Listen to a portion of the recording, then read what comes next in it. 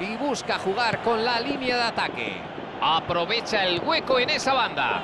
¡Selin Milik! ¡Adentro! ¡Es un gol!